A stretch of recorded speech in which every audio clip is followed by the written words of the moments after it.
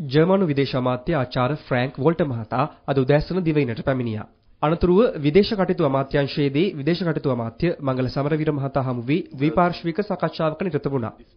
එහිදී දෙරටේ ආර්ථික සහයෝගීතාව වර්ධනය කර ගැනීම මෙන්ම තරුණ ප්‍රජාවගේ හැකියාවන් වර්ධනය කිරීම සම්බන්ධයෙන් අවධානය යොමුව තිබෙනවා. This morning we continued the dialogue that began there during that visit. We have agreed to vigorously build on our multifaceted bilateral relationship. Our fruitful and productive discussions focused on identified areas of cooperation and on working towards forging closer and tangible links in the short and long term. A bilateral official visit to Sri Lanka by a German foreign minister takes place after nearly 11 years. Your visit, Minister, is a reflection of the close relations and goodwill that now exist between our two countries. Minister Steinmeier, you have come to Sri Lanka at an exciting time in our country's history. The presidential election in January and the 19th Amendment to the Constitution that followed soon after restored democracy and paved the way for good governance. This mandate for reform and reconciliation was reaffirmed recently in the general elections. Sri Lanka is now consolidating its democracy and transitioning towards a rule-based polity and economy. We are laying the groundwork for a new constitution, including a new electoral system based on what is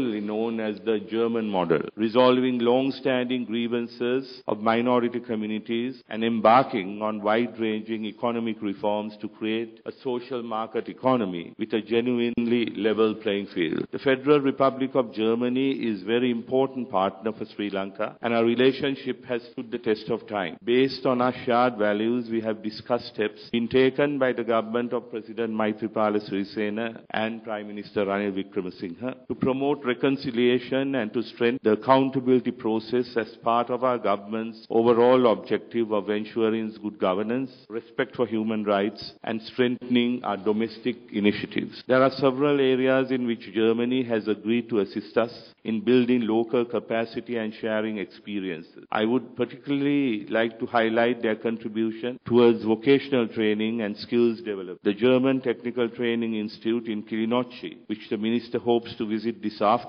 will be a tremendous boon to the youth of the north and eastern provinces. The German Technical Training Institute in Katubedda, established nearly three decades ago, has similarly hugely benefited young people of the south. We have agreed on prioritizing closer economic cooperation. Germany is Sri Lanka's fifth largest export market, accounting for nearly 5% of our exports. Last year, our total exports were US dollars 824 million, and our target is for trade turnover to cross the US dollar 1 billion mark within the next few years. Now that now that Volkswagen and other companies are showing some interest in coming to Sri Lanka, we would also like to encourage other German firms, including those from the Mittelstand, to take advantage of Sri Lanka's skilled labor force, improving governance and ready access to emerging markets along the Indian Ocean Rim, including India and Pakistan, with whom Sri Lanka has free trade agreement. We look forward to regular high-level interaction